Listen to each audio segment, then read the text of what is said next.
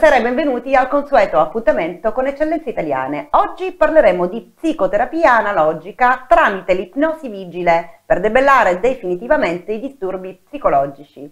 Per farlo siamo nuovamente in collegamento da Pescara con il dottor Artabano Febo. Buonasera dottore, ben trovato.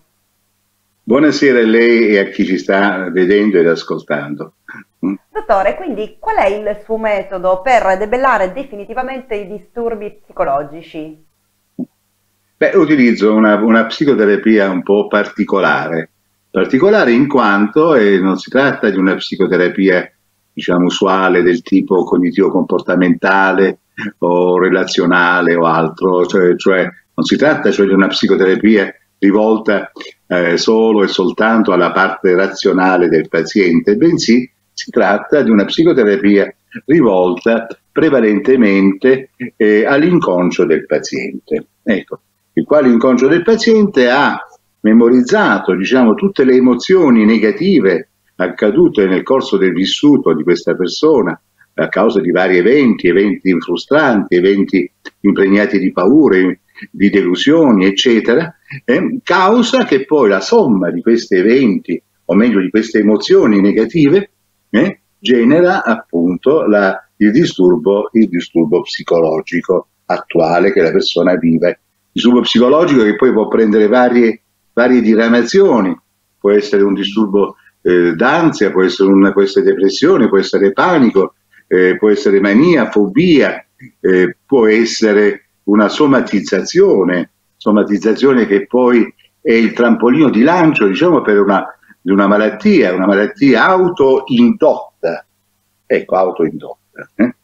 Eh, in quanto sì, esistono le malattie eteroindotte, quelle dovute ai microbi, ad esempio nel nostro, in questo periodo il coronavirus, ad esempio, eh, oppure da traumi, traumi meccanici, eh, oppure, oppure ci sono tante, c'è tutta una classe di eh, malattie strane, eh malattie diciamo, dove la medicina eh, trova grossa difficoltà di cura e che sono appunto le malattie autoindotte, ad esempio le malattie autoimmuni, dove il sistema immunitario a un certo punto diciamo, impazzisce e, e che fa?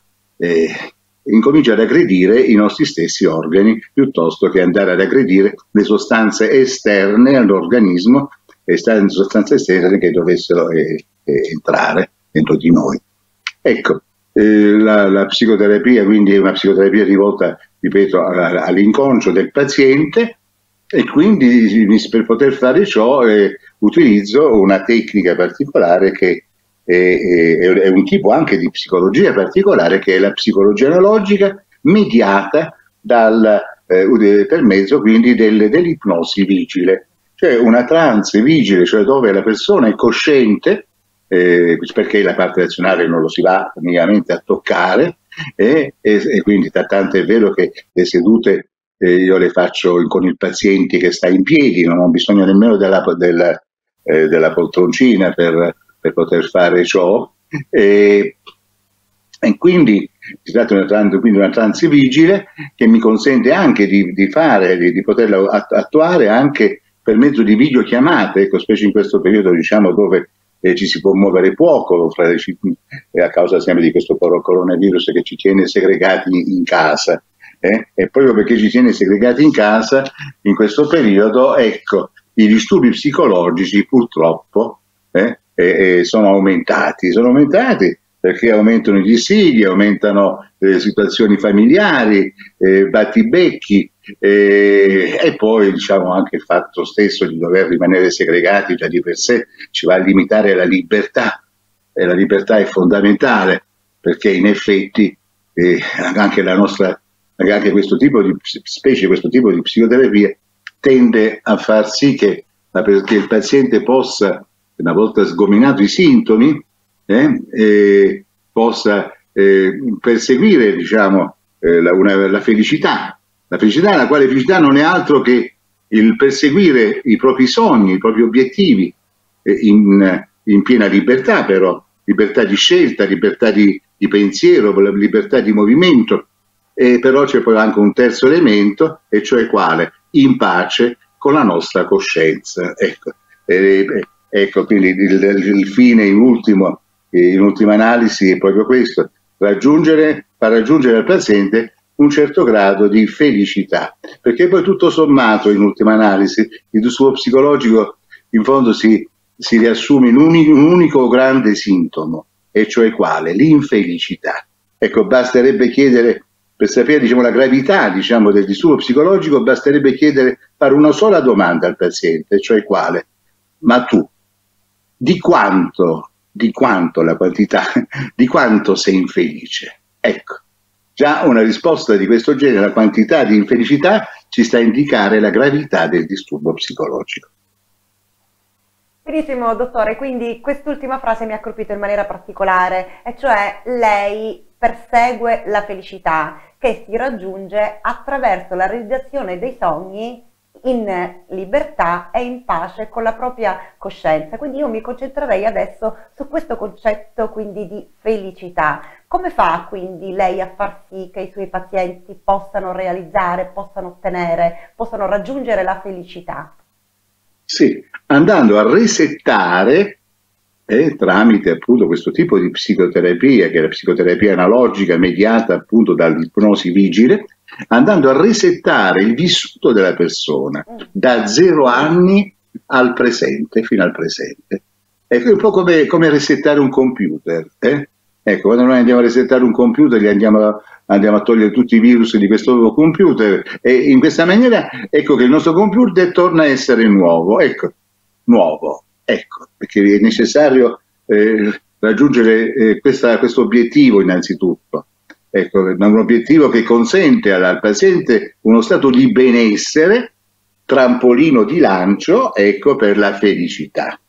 Ecco, per fare ciò però bisogna andare a resettare il vissuto della persona, facendo riemergere tramite appunto l'ipnosi vigile tutti quanti quegli eventi traumatici, frustranti, eh, eh, per far sì che l'inconscio stesso possa mangiarsi, consumarsi, consumare quindi quelle emozioni negative, in quanto l'inconscio, il nostro inconscio, si nutre di emozioni. Ecco, si nutre di emozioni, emozioni piacevoli possibilmente. In mancanza di ciò mangia le emozioni spiacevoli. Ecco, quindi è un'operazione che fa, questa, questa operazione di, re, di, resettaggio lo fa in fondo il nostro inconscio. Tutto sta a saper comunicare appunto con questo inconscio eh, per consentire tutto ciò.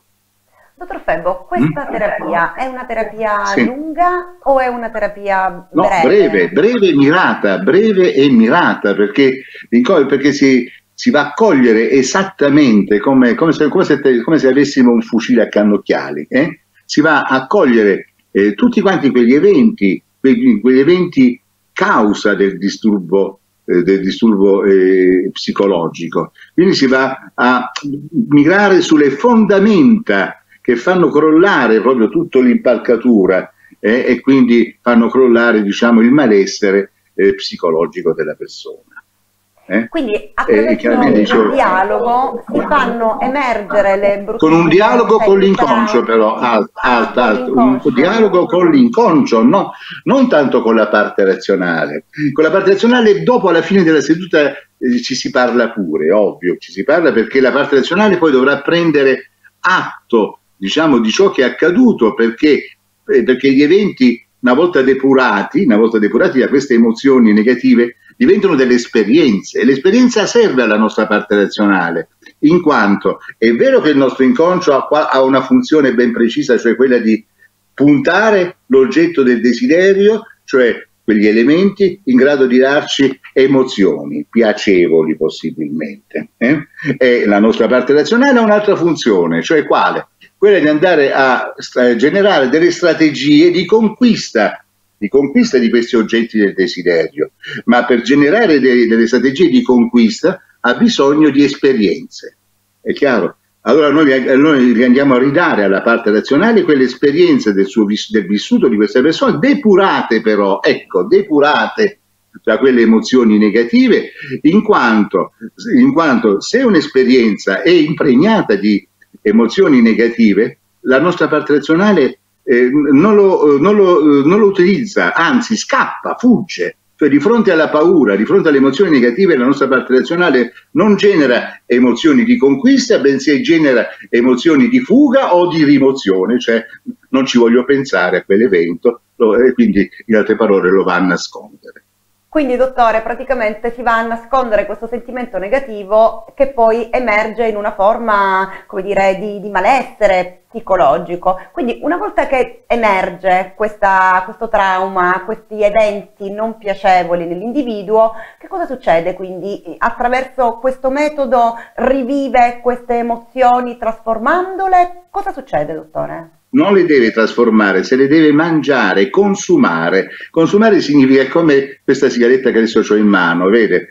Non si tratta di spostare di spostare l'emozione negativa, cioè non si tratta di spostare ad esempio una paura, non so se io ho paura di prendere l'aereo, eh, sa, si sposta questa paura in maniera tale che io non avrò più paura di prendere l'aereo, però poi la paura si va a spostare nel prendere l'ascensore. E in questo caso si tratta di uno spostamento, è come certo. se questa sigaretta la sposto da un punto all'altro del tavolo, si tratta invece di andarla a consumare. Ecco, se adesso accendo questa sigaretta, mh, hm, e la consumo, fra pochi, minu fra pochi minuti sarà la cenere, cioè la sigaretta non esiste più.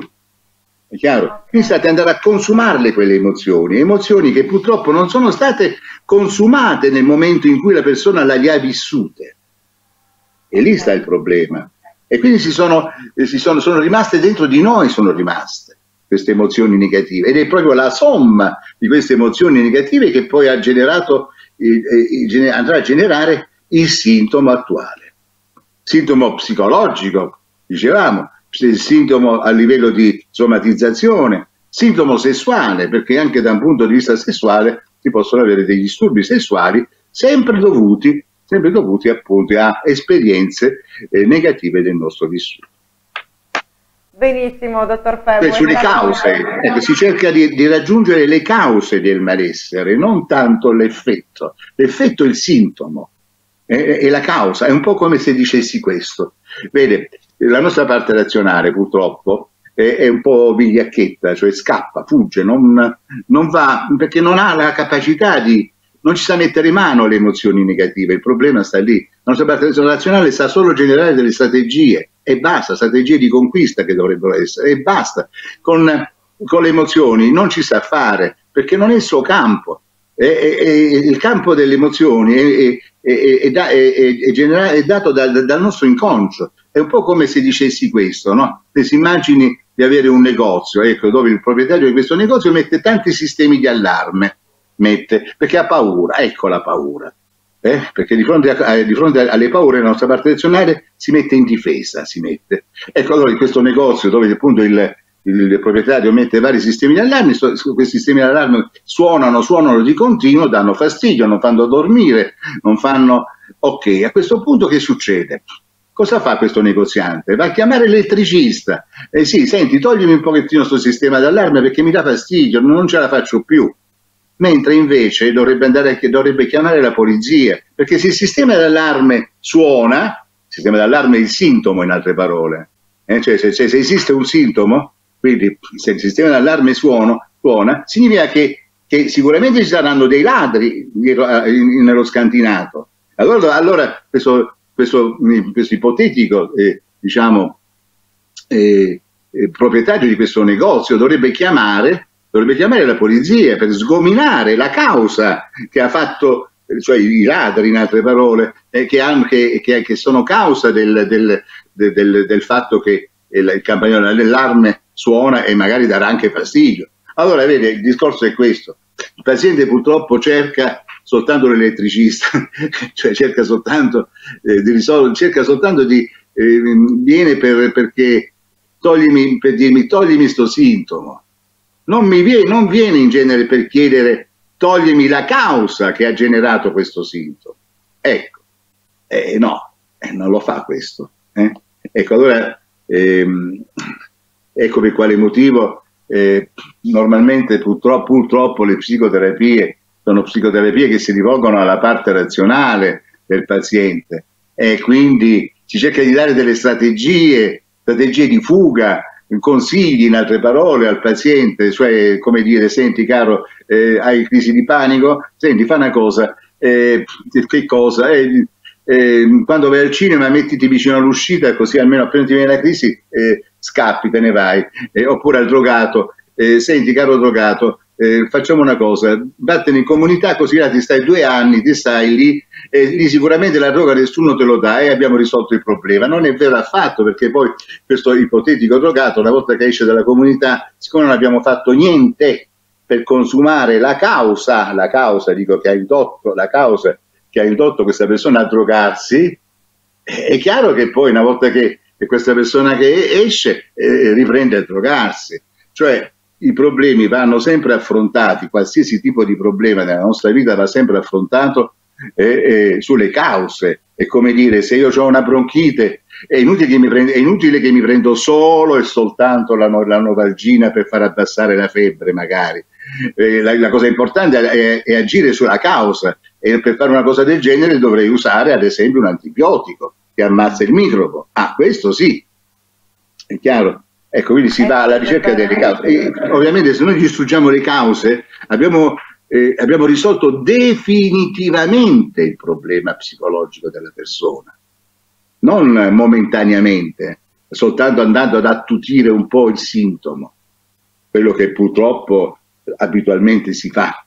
Eh? Ecco, eh, quindi eh, si tratta quindi di una psicoterapia breve, eh, cioè breve nel senso che comunque sia con poche sedute, un numero limitato di sedute, eh, si riesce a resettare il vissuto della persona in questa maniera e, e quindi ad abbattere definitivamente eh, diciamo, il malessere e quindi i sintomi eh, e quindi eh, a questo punto sì che possiamo eh, abbiamo una, una, condizione di benessere, come dicevo prima, trampolino di lancio appunto per, il, per la felicità.